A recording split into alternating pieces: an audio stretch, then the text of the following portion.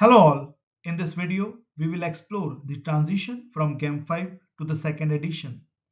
We will cover the updates made to improve innovation, align with modern IT practices and ensure continued focus on patient safety, product quality and data integrity.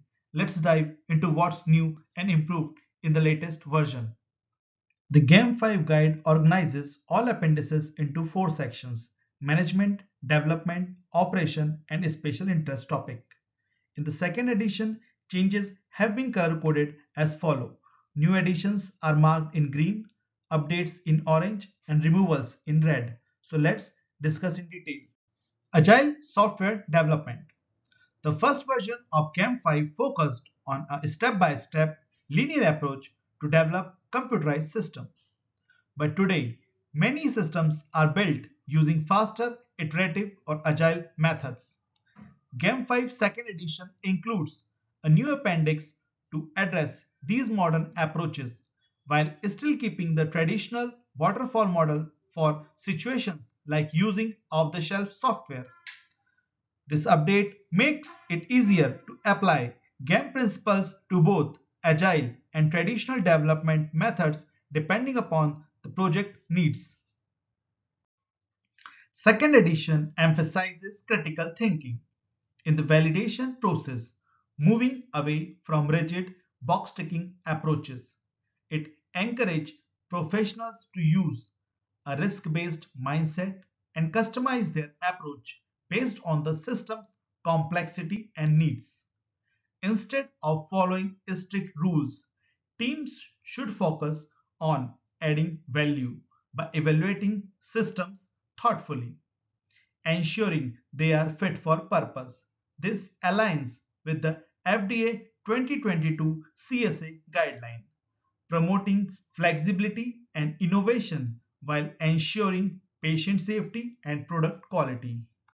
Second edition clarifies how to manage the software tools and infrastructure that support GXP systems reducing the need for full validation in some cases while ensuring that everything is still controlled and compliant. A new appendix applies to software tools like Jira, which are used in processes that do not directly affect the GXP data. These tools do not need formal system validation. Instead, they should be managed through good IT practices and can undergo an IT risk assessment and procurement practice instead of a full validation process. This includes tools used in software development, support, and maintenance activities. Next, Appendix for Managing Infrastructure outlines how to manage infrastructure within a regulated company or from external cloud suppliers like infrastructure as a service, platform as a service, or software as a service.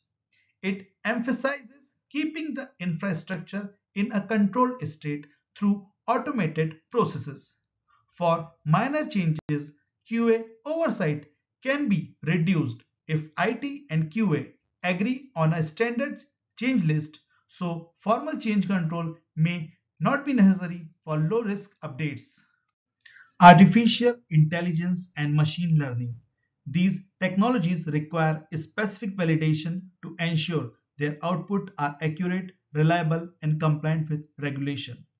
Blockchain, though it is not widely used in GXP yet, blockchain can provide high security and transparency, especially for tracking product activities and maintaining data integrity across the system. GAMP 5 second edition introduces guidance for these two addressing their growing role in automated systems. These two sections are updated, specifying requirement. Now, user requirement specification and functional specification have been combined into a single appendix. This update reflects agile development and an increased use of tools and automation in capturing and defining system requirements. Electronic production record also has an update for including new technologies like cloud computing, blockchain technology, real-time report generation for better efficiency.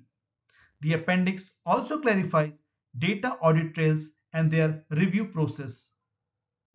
All these three sections are removed from second edition.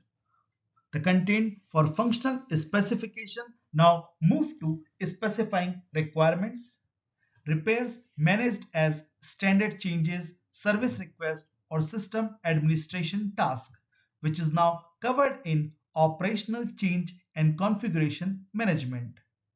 Outsource IS IT quality management is now withdrawn and updated content included in IT infrastructure. Hope you like the video. If you have any doubt or topics you would like me to cover in future videos, drop them in comment section. Do not forget to like, follow and subscribe DigitUpGain on YouTube. See you soon in the next one. Happy learning!